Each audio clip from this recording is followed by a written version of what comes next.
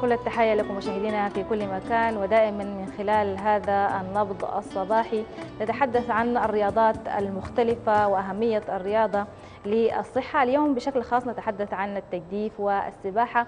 وسعداء أن تكون معنا العازة طارق سيد أحمد مدربة سباحة ولاعبة في منتخب التجديف. مرحبا بك وصباح الخير. مرحبا بك صباح النور.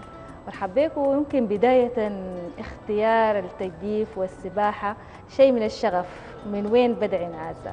آه الشغف بدأ من آه من زي ما بيقولوا نعومة أظافري. من أنا أنا أصلا من مواليد جزيرة توتي وبيتنا مطل على البحر برضه فحبي للموية بدأ من وأنا صغيرة يعني. ويمكن هي الجوانب المختلفة دي للوجود ل... بدأت بالسباحة بداية. أيوة بدأت بالسباحة. أنا أصلا آه كنت بحب يعني كنت بشوف منشط التجديف. كنت حابة جدا إنه أنا أخش في منشط التجديف بس لما انضميت لما سجلت في النادي كان الشرط الأساسي إنه أنا أتعلم السباحة.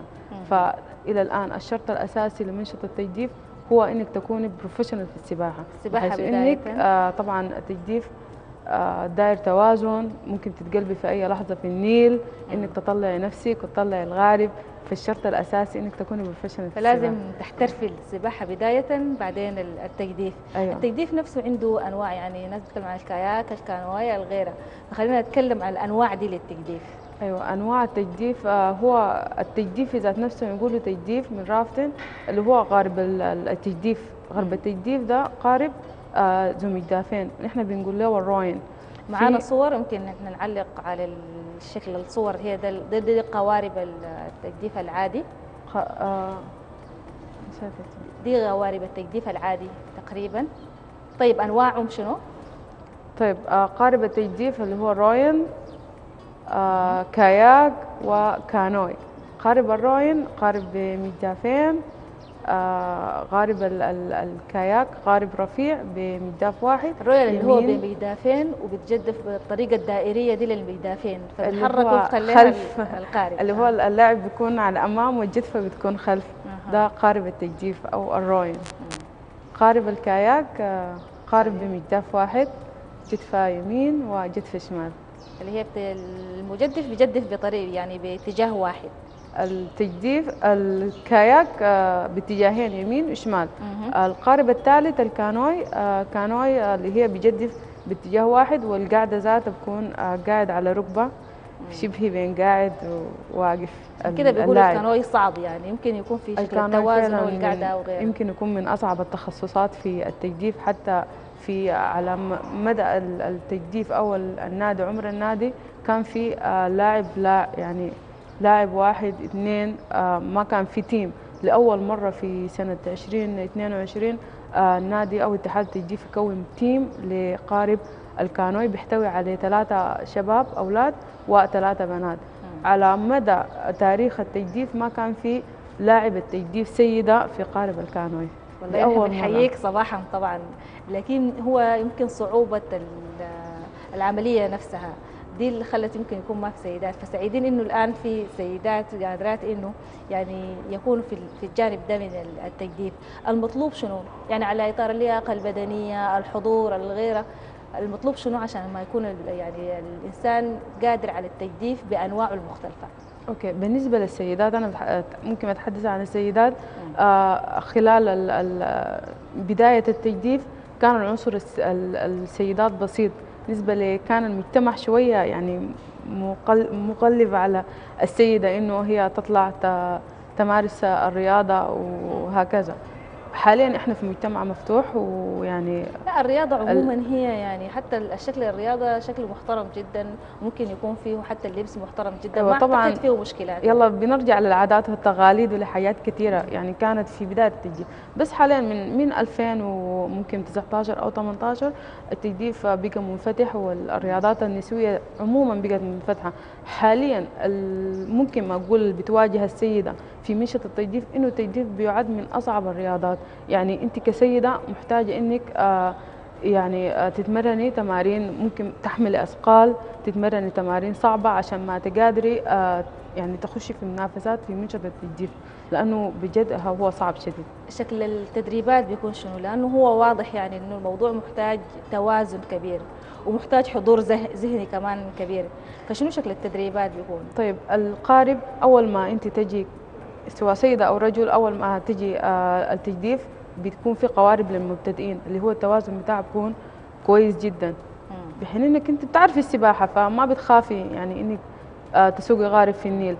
أنت ماشية بتتدرجي على السنين بتتدرجي من قارب لغارب إلى ما تصل إلى قارب البروفيشنال أو قارب السباقات العالمية. ده في كل تخصص بيكون صعب يعني هي توازن. مرحلة لحد ما تصل للنهائي؟ آه مرحلتين. في الكاياك في ثلاثة مراحل في التجديف في مرحلتين. يمكن الكانوي ده طوالي ما فيه مراحل أصلا. عشان كده هو صعب. مطلوباته أكثر يعني على إطار ت- الاتزان أعتقد آه أكثر. توازنه وقعدته حارة شوية يعني محتاج تدريب قوي. أكتر. ومحتاج أجسام أقوى يعني كمان. يعني التجديف عموماً. شوية صعب.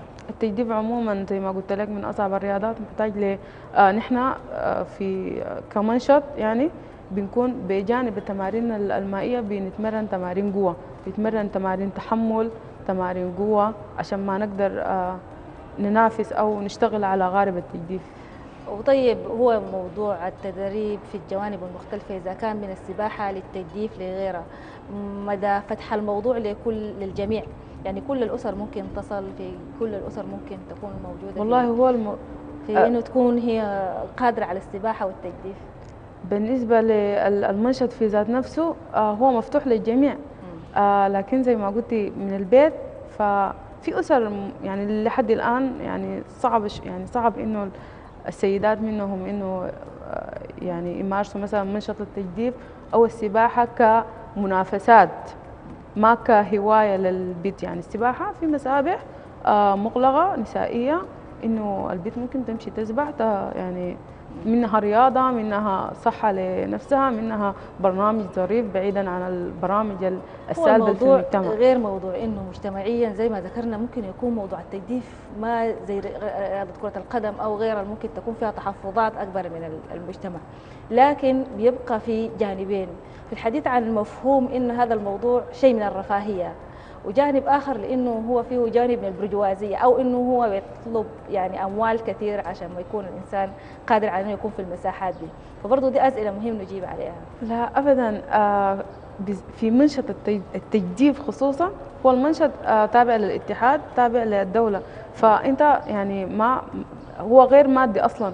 يعني أنت لما تيجي تشترك مجاني هو وين آه. بيشترك؟ بيعمل يعني الآن لو في من يشاهدنا يريد أن يشترك في موضوع السباحة والتجديف فكيف يمكن الخطوات اللي بيصل بها عشان يكون هو موجود مثلا معاكم في دائرة ال- ال- ال- طبعاً التجديف أو في السباحة؟ منشط التجديف مفتوح لكل الناس. إحنا ما عندنا حتى أعمار لكن دائما بنفضل يعني لحد العشرينات. لكن كيف ما يعمل شنو؟ خاتين أعمار. ما خاتين أعمار. الشرط الأساسي عندنا إنك بس تكون يعني سباح يعني بتسبح.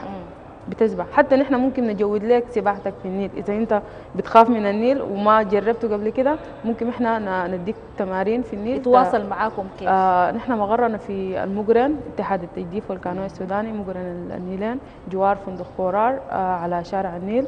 بنفتح دورات تدريبية. 2020 فتحنا دورة تدريبية ضمينا مجموعة كبيرة من جامعة آه، شباب وشابات من جامعة الخرطوم. آه 2021 كذلك عملنا دورة تدريبية.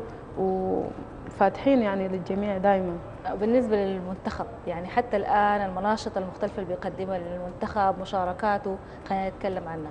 طيب آه منتخباتنا آه بيتم بيتم آه عبر التصفيات اللي هو بيختاروا منتخب سنويا بداية السنة بداية الموسم بيختاروا ال- المنتخب عبر التص- التصفيات نزيهة. بعد ده لما يختاروا المنتخب المنتخب ده بيكون حتى تمارين بتكون؟ براها. كيف بيتم الاختيار للمشاركين في المنتخب؟ تصفيات؟ تصفيات شكلها كيف؟ آه، تصفيات عبارة عن سباقات بتح- بتتحدد من السرعة سرعة اللاعب من قوة تحمله. إحنا عندنا مسافات عندنا حتى في التخصص ذاته سواء في التجديف أو الكاياك عندنا مسافات 200 متر 500 متر 1000 متر 2000 متر. كل آه لاعب بيكون يعني المدرب بيعرف إنه اللاعب ده تخ... ممكن يتخصص أو يلعب له أو ينافس له برا في مسافة شنو؟ 500 200 دي بي اللي هو بالتصفيات نختار اللاعب الفلاني مثلا تخصصه 200 متر. اللي هو على مدار السنة المنتخب ده بيكون عنده تمارين مشارك. آه عنده تمارين حتى يعني تمارين وبراهم بيركزوا هي على اللاعبين بتكون كمنتخب ولا بتكون كأفراد؟ الخارجية. كامل. المشاركة الخارجية بيشارك المنتخب. المشاركات الداخلية مفتوحة للجميع.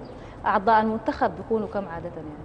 آه ما ما محدد ما محدده ما محدد لكن لكن السفر لما؟ لما يعني السفر بيكون محدد بتذاكر إلا إنه مثلا آه الاتحاد بيقدر يرعى مثلا إذا جاب تذاكر خمسة أو ثلاثة ممكن يدخل عدد إضافي يسوق ثمانية مثلا أفراد من والمشاركات الأفراد. يعني في المناشط دي بتكون فردية ولا هي بتشاركوا كيف؟ طبعا القوارب عموما سواء في الكاياك أو الكانوي أو ال- التجديف في الفردي single في ال double في ثلاثي وحتى في رباعي. إحنا حاليا عندنا في قارب التجديف التجديف في آه، skiff. skiff ده قارب المنافسات العالمية. عندنا فيه رباعي عندنا فيه آه، double. إضافة على ال single ولحد الآن يعني مناشط مختلفة الآن موجودة للمنتخب صحيح؟ يعني شكل المشاركات يعني كنا ابتدرنا الحديث بأنه المناشط شنو اللي بيقدمها المنتخب إذا جوا السودان والمشاركات. المناشط سباقات آه، بس بتتنوع في المسافات. سباق 200 سباق single سباق double سباق مزدوج. مزدوج ده طبعا سيدة وشاب يعني يكونوا في قارب double. آه، بالمسافات. قارب ال- الكاياك عنده مسافاته 200 سرعات اللي هو بقارب اسمه sprint 200 سرعات و500 قارب التجديف آه، ده أكبر كيلو 2 كيلو. عندنا ماراثون ثابت مخصص للسيدات آه، سنويا. وكذلك اللي هو مسافته من المنشية لمقرن النيلين 15 كيلو. ماراثون رجال برضو آه، ماراثون الرجال ده كل سنة إحنا بنبعد المسافة. ابتدينا من الخرطوم لسنار من الخرطوم للمروي وحاليا بنخطط لماراثون من الخرطوم إلى مدينة حلفا بإذن الله. من آه. خلال مسيرتك بالتأكيد يعني واجهتي مجموعة من التحديات. يعني حتى إنه يكون مذللة للجميع من المشاهدات اليوم اللي بيشاهدونا شنو التحديات اللي لقت العزه في جانب عملها يعني كمدرب لل- للسباحة أو في منتخب التجديف طيب آه، التح- حاليا التحديات كمدربة يمكن العنصر النسائي ده صعب التعامل معه شوية. يعني أنا دربت شباب ودربت سيدات. الشباب آه، يعني أي حاجة بتطلبها منهم بيعملوها بيشتغلوا كويس بيتمرنوا كويس. السيدات في جزء منهم كده بيتدلع شوية. لا بس لأنهم يعني- مبتدئين يعني. لكن السيدات السيدات محتاجين قادرات.